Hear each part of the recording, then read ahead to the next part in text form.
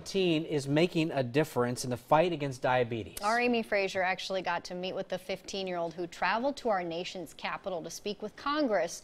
And he is on a mission to find a cure. Amy. He absolutely is. The teen was diagnosed with type 1 diabetes just before his second birthday. He says he doesn't let it define him, but it does impact his life, so he's fighting for a cure.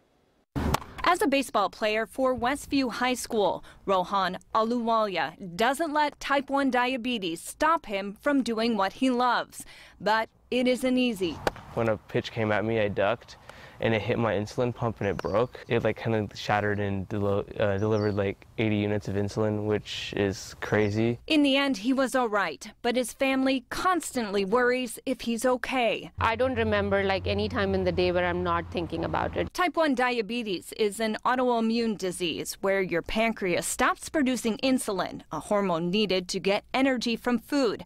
Doctors diagnosed Rohan at 21 months old. And we are listening to all this numbers and his blood sugar number is off the range and we don't know what's going on.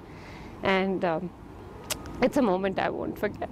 Four to six times a day, Rohan pricks his finger to check his blood sugar level. High or low levels can put patients at risk for things like stroke, blindness, and amputation. Rohan manages his insulin through a pump, but it's not a cure. I want to find a cure. Uh, I'm in DC. So last month, Rohan went to Washington, D.C. for the Juvenile Diabetes Research Foundation's Children's Congress.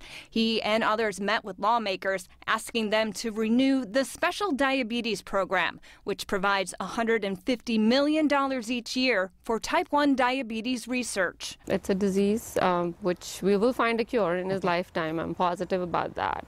So that's what our hope is. And you guys, not only is he pushing for more funding and research, he wants to do the research himself.